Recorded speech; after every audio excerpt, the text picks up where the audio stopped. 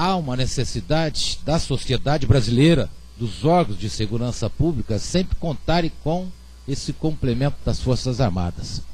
O material de emprego militar que nós adquirimos, o meu órgão é o responsável pelo Brasil inteiro nessa questão das tropas do Exército, ele não é apropriado para o ambiente urbano. Ele é mais caro e não funciona adequadamente em ambiente urbano. Hoje operamos com equipamentos de comunicações críticas, padrão P25.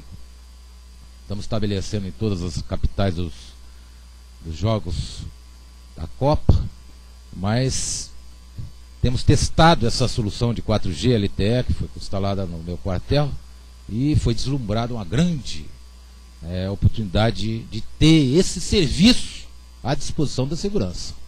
Nós recebemos lá no, no polícias militares, polícias civis, quase todos os estados.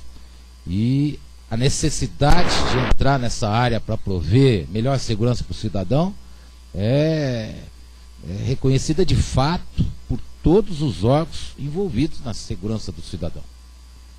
A nossa manifestação não é nem de, uma, de um uso exclusivo dessa faixa de 20.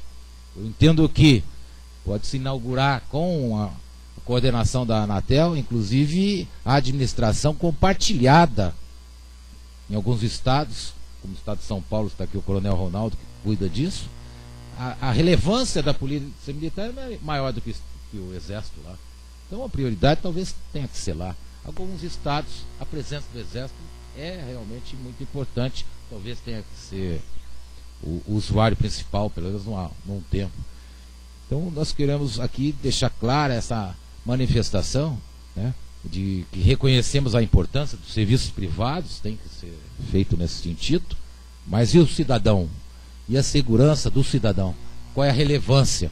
Eu imagino que nenhum cidadão hoje brasileiro se sente confortável, nenhuma capital, nenhum é, em termos da segurança pública. Há necessidade de investir, há necessidade de melhor coordenação e essa tecnologia vai oferecer isso aos órgãos que são responsáveis por todos aqui, segurança de todos, não só nos grandes eventos, mas no dia a dia.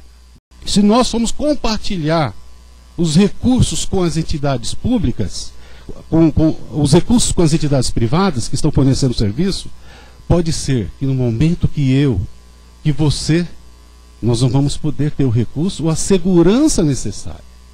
Outro evento que aconteceu que abalou o mundo inteiro, ali nas Torres Gêmeas. Nós vimos, todo mundo parou. Quem não parou para ver aquele evento pela televisão? Vendo ali aquelas torres enormes caindo pelo chão. E sabe o que acontecia? Algo que nós aprendemos com aquele evento. Eu acho que o passado é muito bom para esses itens, para você aprender, para você não cometer de novo. Enquanto todos estavam se afastando, quando todos estavam indo embora, os bombeiros estavam subindo. E o rádio não falou. O rádio não conseguia falar nas, nas partes mais superiores daquelas torres. As frequências começaram a receber interferência. E o que aconteceu? Eles perderam a vida. Nos ajude a fazer segurança pública. Digam todos, nós precisamos de um espaço para segurança pública nessa faixa. O estado de São Paulo é um estado com aproximadamente 42 milhões de habitantes. Nós somos praticamente uma Argentina dentro do estado brasileiro. E essa grandeza não apenas nos causa júbilo, mas também causa um pouco de preocupação. E é justamente com essa preocupação que tem havido uma soma de esforços com a Polícia Militar do Estado de São Paulo, aqui representada pelo Coronel Ronaldo de Oliveira de Silva, com quem nós temos mantido constante, dioturno contato, buscando ah, principalmente uma soma de esforços e um compartilhamento de infraestrutura para que busquemos uma comunicação de ponta no estado de São Paulo. E temos conseguido com grande esforço, mas também com grande sucesso. Então, esta frequência é que hoje me traz aqui, fazendo uso da palavra, é necessário que nós tenhamos esta, também esta faixa do espectro a Anatel já, já tem conhecimento do pleito, já, general. Nós estudamos essa situação não só nesse, nesse regulamento, como também na construção do próprio edital de, sobre a situação da segurança pública. Né? Nós não temos, neste momento, a resposta sobre como será a alocação.